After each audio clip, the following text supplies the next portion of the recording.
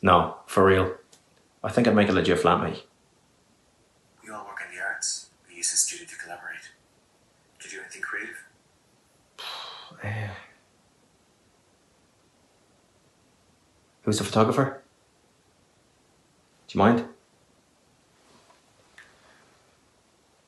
I like what Robert Capa said. The pictures are already there.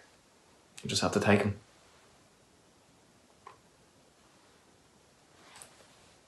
You took all these.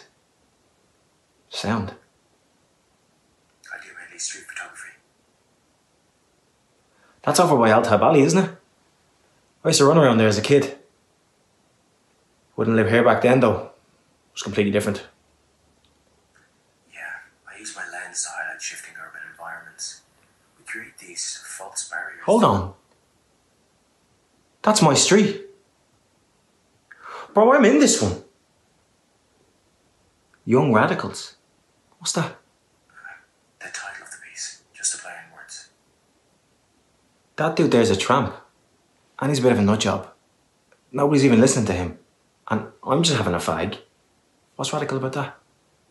No, it's more like the guy handing out the flyers. That's Tarek. He works over at Ali's garden. Those are menus. This has been in galleries? I had a show last year. Cool. Cool. Keep me posted, yeah?